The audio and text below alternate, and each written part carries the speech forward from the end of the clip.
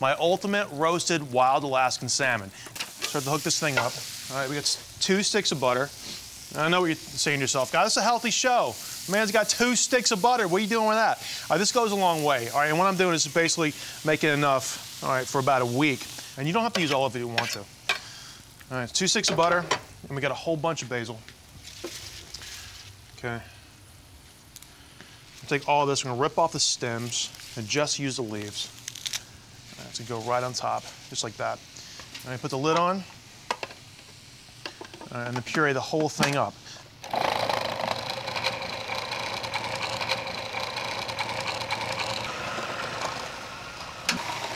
All right, cool. Once you get a really beautiful color out of the basil butter, what I'm gonna do is just hit it with a little bit of salt, boom, a little bit of fresh cracked pepper.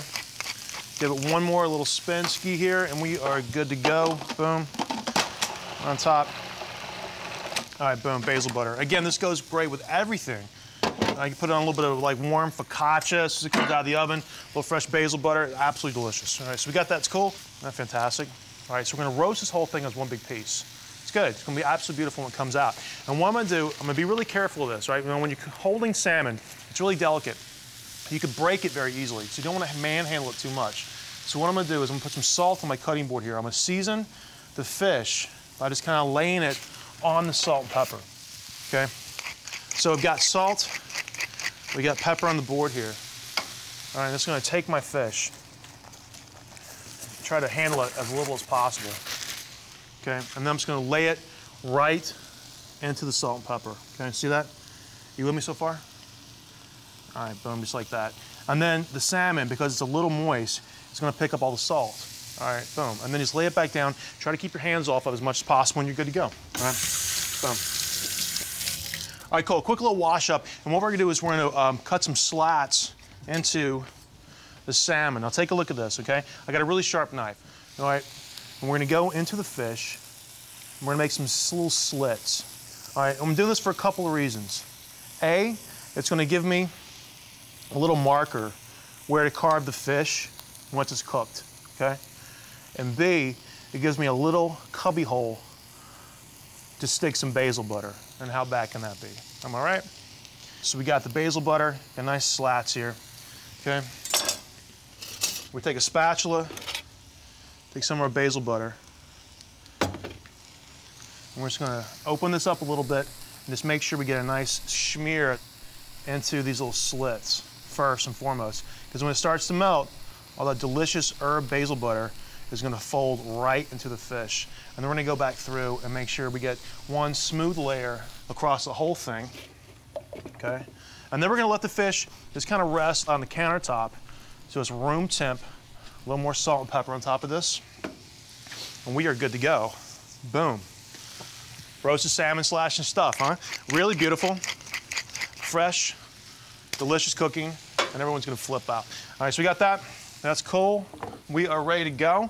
We're gonna make a beautiful breadcrumb. We're making herb and garlic breadcrumb to go on top of the salmon. First, we're gonna take a big loaf of Dale bread. I'm gonna cut it in half. I don't need the whole thing. So I've got a nice big long threaded knife. I'm gonna take the crust off. All right, so I'm gonna cut some slices down, crumble it up inside of our food processor. All right, cool. Now once it's pulverized, check this out. All right, it's pretty coarse. All right, I'm not done with it yet. We're gonna add a nice big handful of fresh basil, one clove of garlic, whack it open. Also hit it with a little bit of extra virgin olive oil, and there's a little touch of salt. All right, a little bit of pepper. Grind it up, that's gonna be great on top of the fish. All right, so we got this. Our machine goes away. Then we're gonna take our fish, our belly of salmon. Brushed with basil butter right on top. Isn't that gorgeous? Isn't that beautiful? All right, then we're gonna take our breadcrumbs, our basil and garlic breadcrumbs, and I'm just gonna scatter them right on top and one nice smooth layer. And this is gonna do a couple of things, right? So the butter's gonna start to melt. It's gonna melt into the fish through the slats because we slashed and stuffed it. And then the bread is gonna get nice and crispy on top. And this is gonna be off the chart. Now we got the oven preheated 500 degrees. I'm telling you, this is a fantastic dish. Oven roasted, wild Alaskan salmon, ratatouille, garlic breadcrumbs, slashed and stuffed, basil butter, 500 degrees, 15 minutes. boom, life is good. All right. Now let's take a look at this for a second. It's in the oven. It's been in the oven for about 20 minutes. So take a look at this. All right, it's absolutely gorgeous. We're gonna put it under the broiler and just kind of finish crisping up all this really gorgeous right on top. So I'm taking it from the middle shelf, put it on the top shelf. I'm gonna crank it up to broil. Here we go. Da da da da da. Roasted wild Alaskan salmon, slashed and stuffed.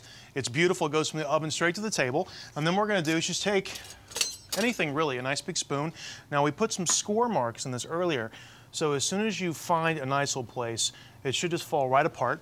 Okay, I've got a nice big plate here. And we're just gonna go in. Yep, found the mark. Nice and crunchy right on top from the skin and from the breadcrumbs.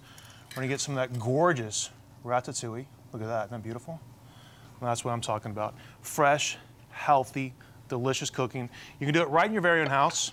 Everyone's gonna love it. It's a really good alternative. All right, if you're gonna cook some healthy food, might as well be the ultimate gang. Check out this recipe, it's really delicious. It's also really, really easy to make. A little bit of basil on top, uh, fresh little squeeze of lemon, and I am good to go. And I'll see you guys next time. You gotta try this salmon.